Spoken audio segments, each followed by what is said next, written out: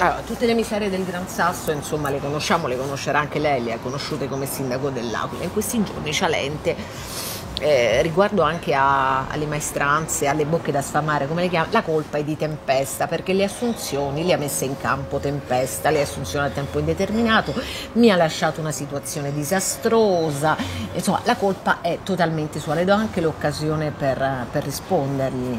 Ringrazio dell'occasione ma vorrei ricordare al sindaco Celente che io ho smesso di fare il sindaco nel 2007, sono passati quindi cinque anni e mezzo ed è successo nel mondo tutto quello che è successo, guerre, sconvolgimenti eh, naturali, posizioni politiche, eh, maggioranze che cambiano in tutta Europa e in tutto il mondo, ma Celente è abituato a dire continuare a dire le bugie, non essere, io non posso essere il paravento della incapacità totale, ripeto, sottolineo incapacità totale di questa amministrazione e in particolare del sindaco Cialente. Perché Tempesta cosa aveva fatto più di Cialente insomma, durante la, la Beh, gestione per, per, dire, per, gestire il bubbone, che già era bubbone allora, definiamolo così?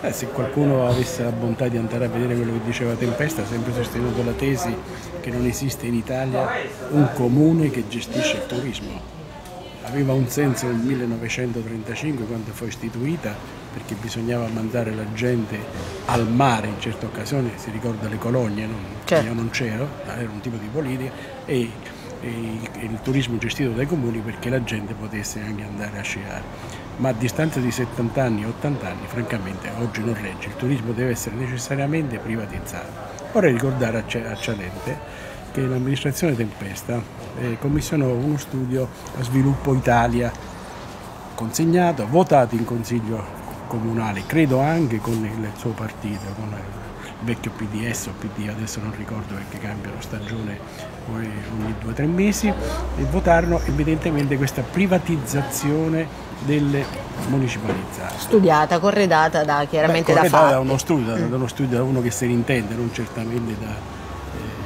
quelli dello, dire, dello staff, i manutengoli di Cialeno in questo periodo. Ecco, per quanto riguarda il tema specifico. Il tema specifico è stato affrontato anche nella prima conferenza del turismo voluta da Lelio De Santis per fare il punto sulle vocazioni. Mm. No? Bisogna capire qual è la nostra vocazione.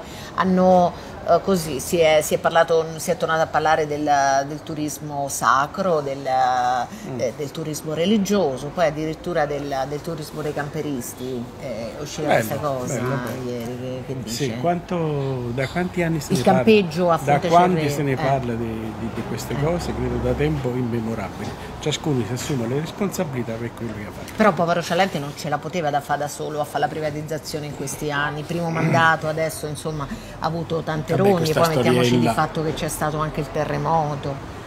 Oddio, che la situazione era difficile eh. ed è tuttora difficile e pacifico, ma che diciamo, la soluzione di questa situazione è in ritardo, credo che sia sotto gli occhi di tutti.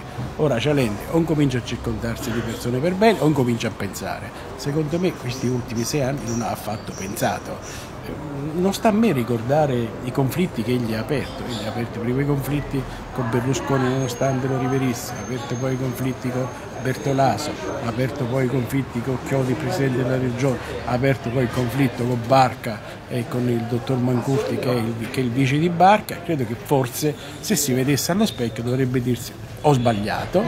eh, umilmente mi metto a lavorare, creo alcune soluzioni che riguardano l'intera eh, macchina comunale per quanto riguarda anche le municipalizzate e quindi anche il Gran Sasso. Torno Ora seguitare a parlare di turismo, eh. seguitare ancora a parlare di turismo, basterebbe vedere la televisione, a me mi piange il cuore quando vedo altri luoghi guardati dalla televisione dove le stagioni sono stagioni e sia quelle invernali dove si scia sia quelle estive dove si può camminare e godere la montagna in modo differente, francamente mi sembra che Ciaretti sia notevole ritardo.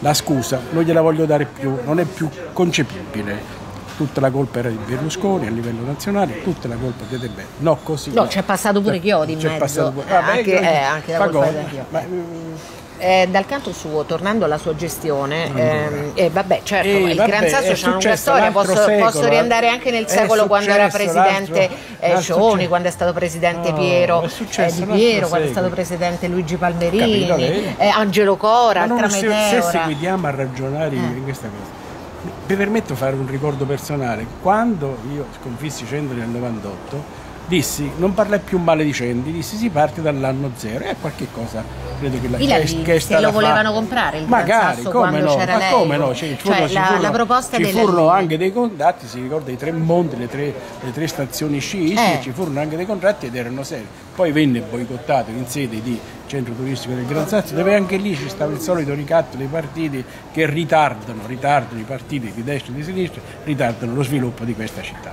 Ma interessa privatizzarlo veramente? Perché qualcuno viene il dubbio se interessa a questo punto piazzare una privatizzazione, anche le trattative con Eh, Invitalia non è che stanno andando benissimo come si Si pensava. ricorda Cialente, Cialente passa, passa sempre le due fasi, la prima fase è quella degli amici.